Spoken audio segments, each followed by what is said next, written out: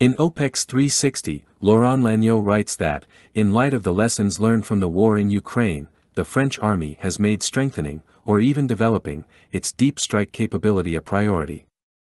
The Military Programming Law 2024-2030 is set to provide the means for this, with the announced replacement of its remaining 9 MLRS, Lance Rockets Unitaries, LRU, with the goal of acquiring at least 13 systems by 2030, and another 13 by 2035.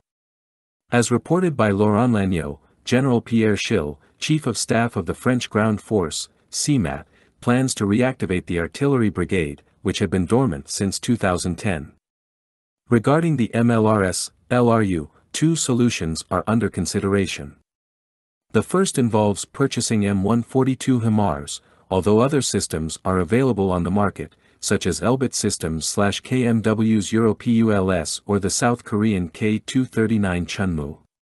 The second solution, as specified in the Military Programming Law 2024 to 2030, prioritizes the search for a sovereign solution. A sovereign long-range strike system is indeed of great importance to General Schill, we see how countries that have provided such systems to Ukraine, like the United States, authorize or not the Ukrainians to use their munitions at certain distances or against specific targets. Munitions are crucial, and General Pierre Schill has specific requirements in this area, as the future deep strike system of the French army must have significantly better performance than the LRU, which can destroy a target at a distance of 70 kilometers.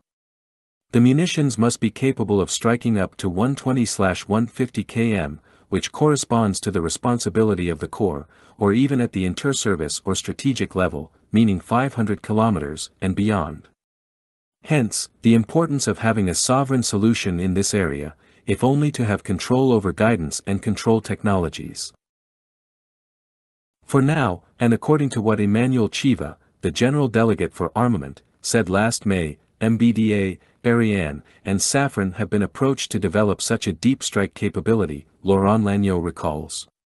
One of the proposed solutions would be based on a land-based version of the Modular Air-to-Ground Armament, A2SM.